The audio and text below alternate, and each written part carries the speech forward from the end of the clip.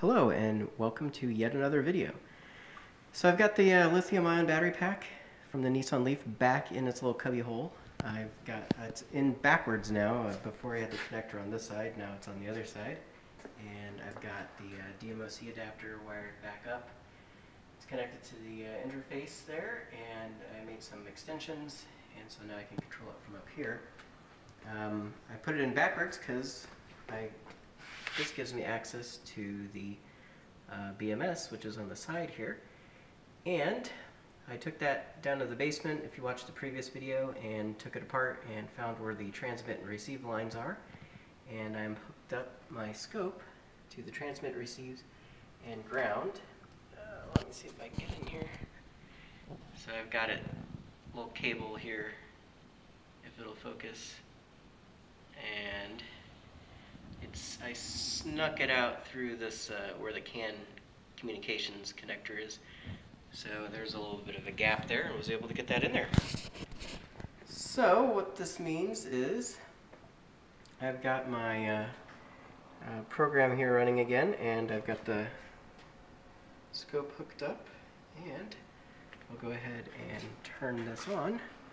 So if I send it the command to turn on, here's some clicking we're now getting data from it and you can see it's um, you know updating all the cell voltage interestingly enough uh, it's warmed up in the garage. It is currently what 55 degrees now and now it shows I have seven bars instead of six like it was showing before even though the voltages didn't change. So I think it that the bars might be just temperature controlled? I'm not sure because I haven't been discharging it. But anyways, this is the cool stuff.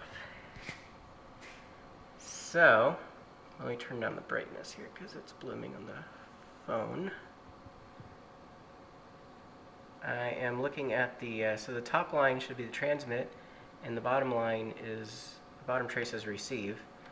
And it looks like it's putting out an address, and it responds with an address, and then it just clocks like Fs all the way through, and then this looks like this is the data from each of the little, each uh, balancing chip.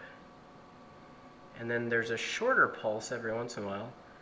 So something else is getting queried, not sure. Um, maybe that's it actually writing out which shunts should be turned on and off. That would be awesome, or which uh, current, uh, the little um, balancing resistor should be on or off. That would be pretty impressive. Then be able to decode that pretty easily.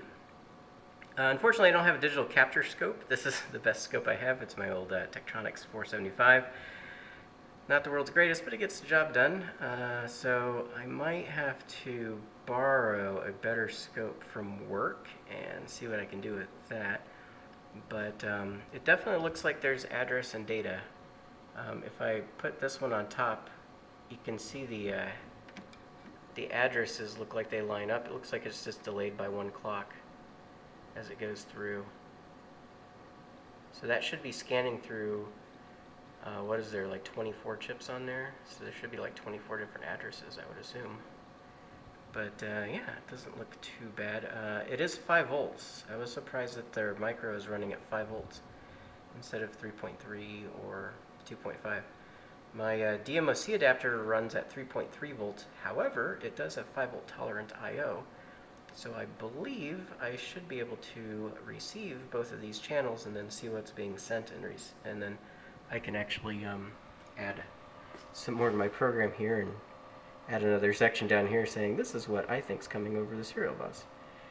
So I think it doesn't look too bad. Um, yeah, we're gonna have to uh, investigate further, but I think uh, I'm done for tonight.